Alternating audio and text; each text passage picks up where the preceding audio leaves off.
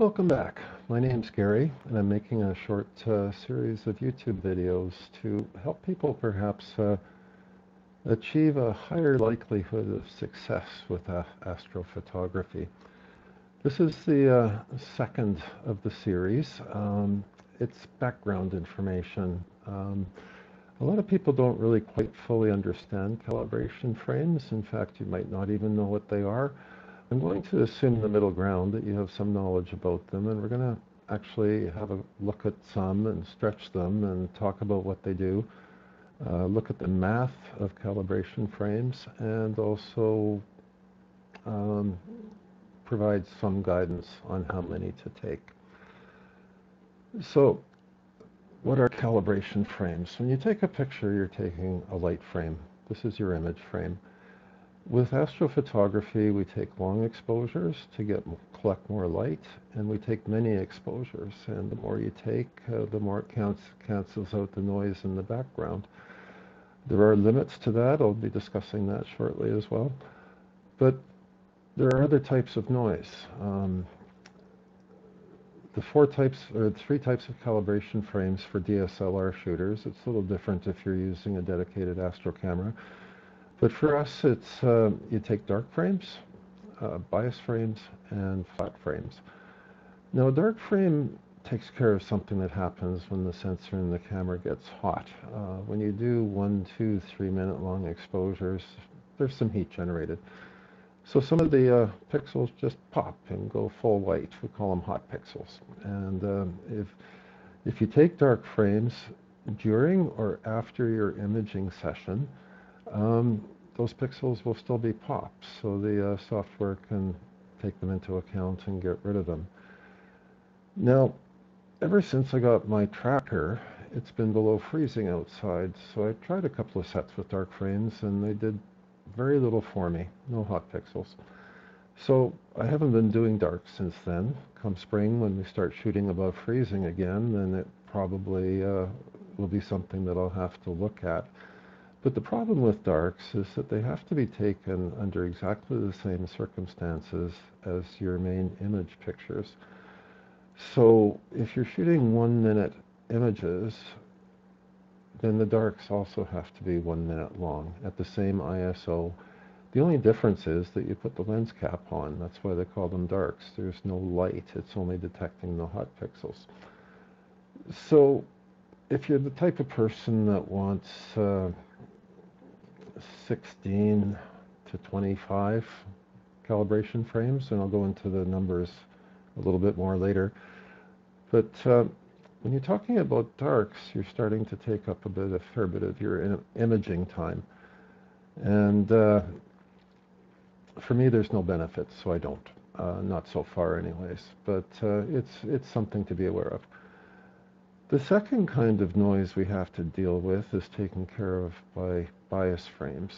Now the way you shoot a bias frame is at the lens cap on at the maximum, the fastest shutter speed your camera can do. In my case, that's one eight thousandth of a second. Um, aperture doesn't matter, there's no light, and ISO lockdown um, at the same level as the light frames that you've shot. And so you shoot a bunch of those. They're quick and easy. And, well, let's have a look at some bias frames. I'm just going to go over to a desktop view now. Sorry. And I'm going to use a program called Siril to, to look at these frames. Um, so we'll be getting to know Siril in the next video. This is kind of a key part of this whole presentation to take people a level above where they are right now. But for now, we're just using it to view something.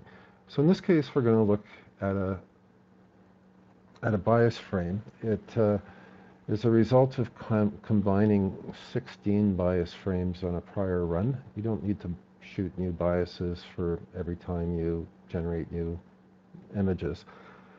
So on a prior run, I took the uh, stacked one and saved it off, and I reuse it. So here it is. So let's just open that up. Now, not much there, but uh, at the same time, it's 1 8,000 second with the lens cap on and so on. So let's stretch it out and have a closer look.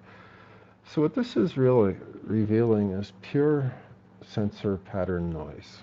Um, if you zoom in on it, it, it's random noise, but that's, that's endemic to the sensor. There's a little bit of banding there. People often talk about amp glow in their images. Well, down at the bottom here, that's part of bias. Uh, if you're getting amp glow, chances are if you get a, a set of bias frames, it can help with that. So the last uh, calibration frame I want to talk about is flats, and this is arguably, to me, the most important one. These ones are shot um, with the ISO lockdown at the same um, settings you use for taking your light images. The, you put the camera in aperture priority mode, so the only thing left for the camera to control is the shutter speed. And then you want to put it in front of some flat light. A lot of people suggest stretching a towel over and uh, uh, fastening it with an elastic band, pointing it at the morning sun to get a truly flat light source. For telescope people, that's probably appropriate, but for, for DSLR, DSLR people, it's, it's really quite a bit easier than that. The one thing you need to do is make sure that the image train is the same as it was before. Um, here's my camera, just as it came off the tripod, tripod last time I used it. I'm going to have to clean my lens. That lens cap wasn't on quite right. It was cold out. But anyways, to, to shoot a, a flat frame, you're going to put it in aperture priority, lock down the ISO at the same as your imaging session, and now the, the camera is controlling shutter speed only. Now what I do is open up a white screen on the computer. Um, that's pretty flat and pretty white. I just open a notepad window or something like that. Darken the room. You don't want extraneous light getting in the edges or it'll create uh, false vignetting, for instance. And uh, you need the focus to be the same. So if it's daytime, I'll take it outside and focus on something at least a mile and a half away or two kilometers away. Uh, that's where this lens falls into infinite focus. Um, if it's night outside, I can take a Bahtinov mask and focus it the same way I did when I was shooting. So either way, you want the same focus, the same aperture setting. And then to shoot your flats, all you need to do is get in front of that white screen. And the camera needs to be moving. Just sweep, shoot, sweep, shoot, sweep, shoot. If you're not moving the camera, you'll actually pick up the Bayer pattern in the, in the computer screen. So that's no good. But if you're sweeping as you go, you actually get a pretty nice Um, flat light exposure. So let's have a look at a flat frame. And so that is in my folder called flats here. Now in this case, I've got a pre-processed stacked flat. That means on a prior run, it got pre-processed by subtracting the bias out and then stacked. So let's have a look at that one. Now this one, if you had a histogram view, is uh, right in the middle of the histogram. It's just flat light. And again, this doesn't reveal very much. If we go to an auto stretch view, you start to see at the corners a little bit of the vignetting that it's concealing in there. And if we go to a full-blown stretch, you see what the flat does. Um, the corners are darker.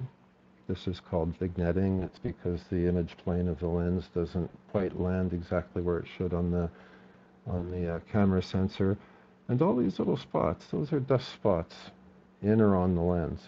Now I keep the front and back very clean. I don't change the lens very often, so I believe that these dust spots are internal.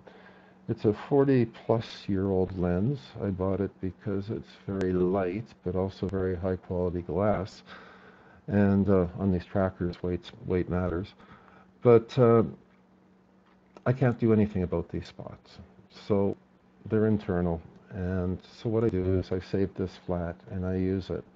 Now, if I start seeing spots like that on any images I'm processing, it means I've picked up a new dust spot, and I either have to clean everything or um, take more flats and update this stack flat uh, image. So that's an idea what they look like. Now let's look at the uh, the math of uh, calibration images.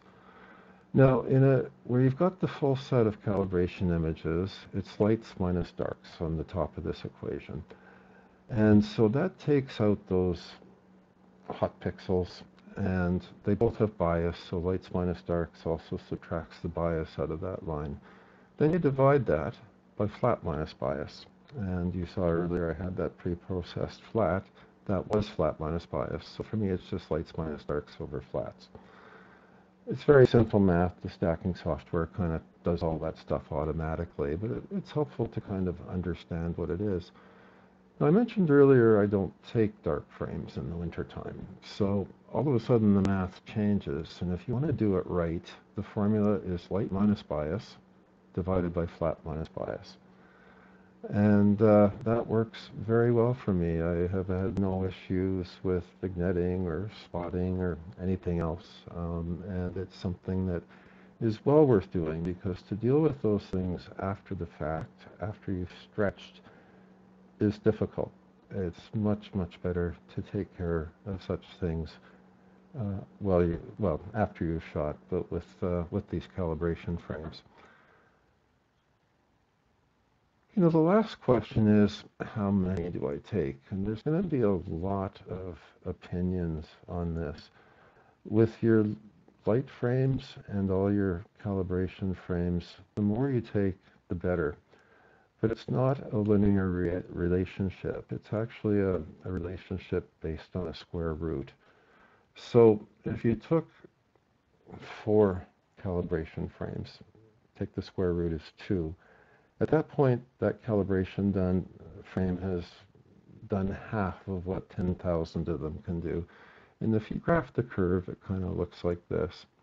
So the first ones you take are the most important. Then it starts to level off, and you get out here, and you're getting very, very little extra benefit from more frames.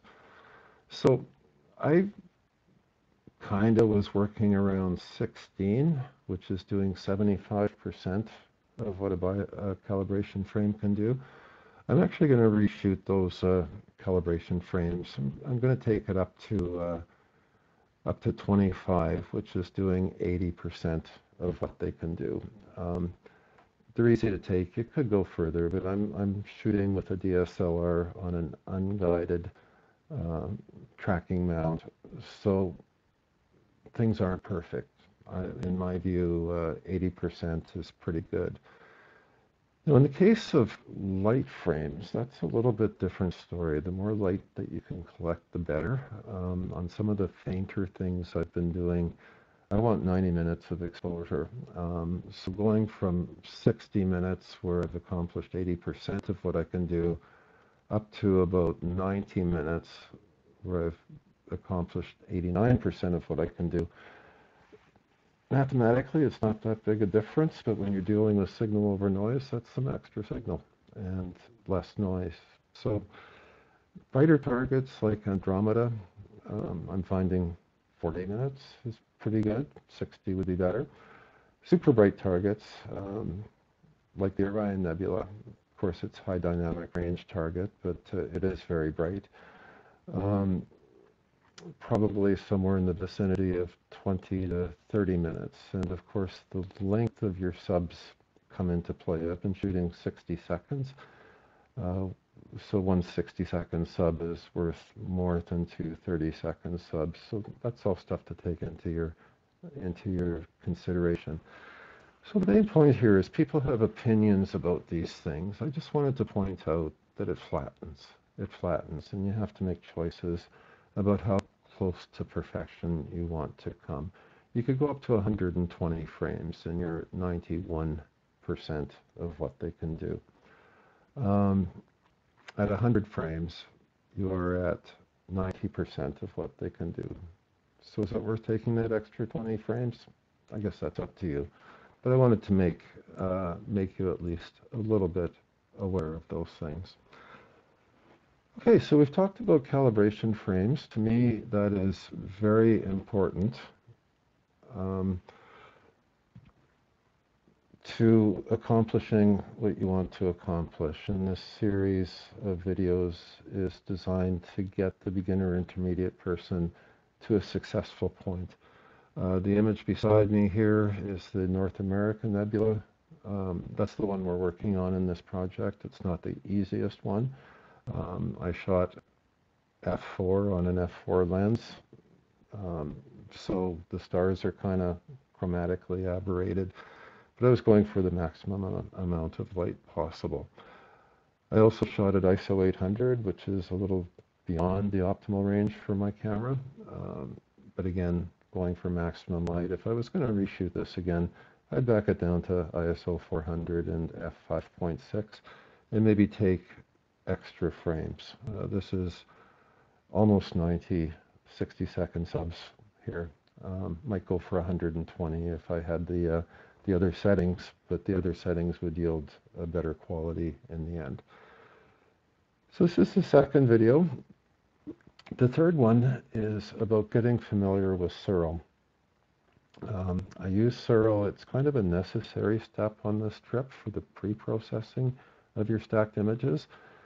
But there is really not a lot in terms of good um, tutorials on the use of this of Siril and its interface and using it wisely.